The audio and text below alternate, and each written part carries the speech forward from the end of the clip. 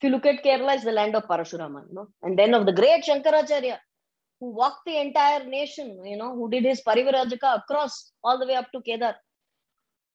And uh, that's the unfortunate part that it fell into the grip of communists. And the two violent fellows, huh?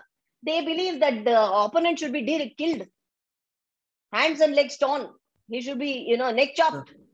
It's happening today also with the violence. How many RSS? No, I mean, it's a lot less now. But yeah. if you take the 60s and the 70s, the average uh, RSS Karyakarta was simply killed right if you look at the you know the they were killing fields uh, fields literally places like kannur and all of that so unfortunate that the land of parashurama and shankara got you know got into the hands of these violent communists right so it, it looks really funny and amusing when they speak of human rights and then if you look at tamil nadu tamil nadu is the land of the cholas cheras pandyas you know the pallavas the greatest of them all you know, they built the they built the Tanjavur, Tanjavur Brihadishwara, they built the Madurai Meenakshi.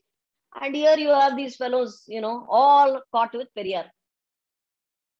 right. So they are hijacked topic. by so this yeah. uh, Tamil Nadu got hijacked by Periyar, who was uh, frankly speaking, uh, in his name did not suit him at all. I don't know how he earned it.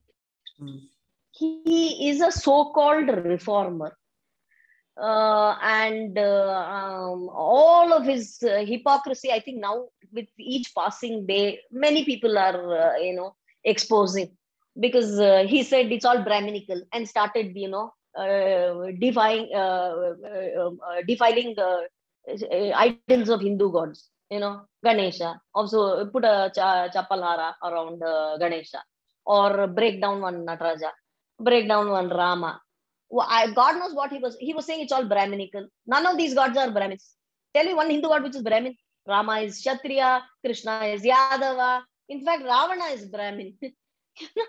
so here he had it. He had it all wrong, and he blamed the Brahmins for everything. So uh, I think uh, perhaps there was a lot of uh, you know anger and frustration in the society itself because so many years of oppression. Finally, the British so he sort of caught them at the right time mm. and managed yeah. to, uh, like, you know, you're poisoned, uh, like you speak of the leftist boys in today's colleges, he managed to do it.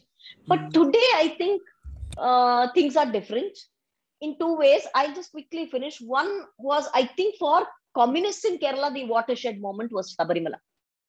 Right? They what happened was what they didn't expect. The average Hindu woman of Kerala stepped out on the street in lakhs, right? So the communists somewhere buckled and said, oh God, these fellows, you know, they have got their strength. And uh, perhaps the what they I can't call it watershed, but Jayalalitha, see, Annadurai was the man who led that whole DMK movement so politically. Yes, Periyar was the ideologue, but Annadurai was the man in action. You know, whether it is DK or DMK or all of that, or ADMK. So MGR and Karunanidhi had to hold on to that. Although MGR visited Mukambika temple is what they say. MGR and Karunanidhi had to hold on to all those atheist values and all of that. But I think Jayalalitha um, sort of uh, loosened up and uh, she celebrated that. Uh, let me, I wrote it down somewhere. It's a very famous, uh, it's called uh, Maha Mamangam, it's called in Kerala, in Tamil Nadu, the, you know it's, a festival of uh, celebrating the river and water and all of that.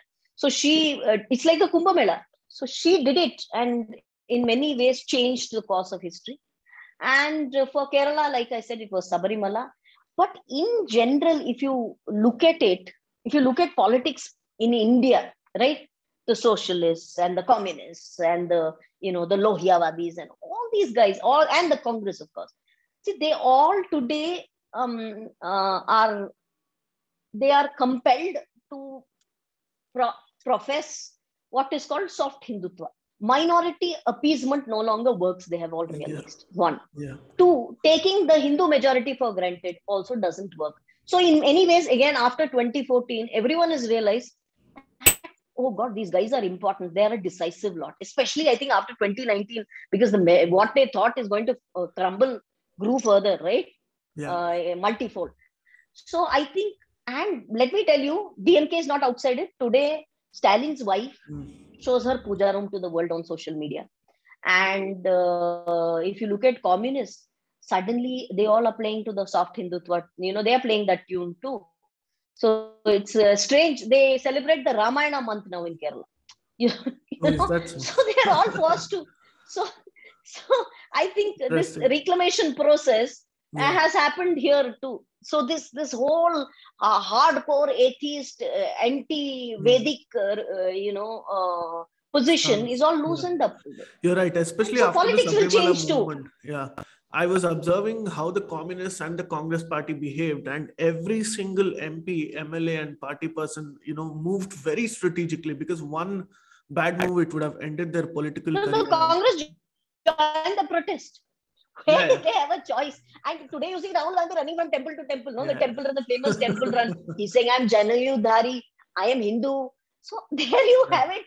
So from being not so proud about being a Hindu, now uh, Akhilesh Yadav is doing the same thing, no? And Mamta Di was uh, chanting. Yeah, uh, BSP you know, is organizing the Brahmin sammelans and things like that. Yeah, it's it's very interesting. So there you have happening. it.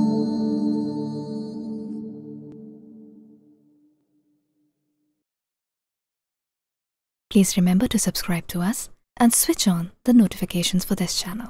For our other social media links, more content, and to support our work, please visit citti.net. Dhanyavad. Namaskar.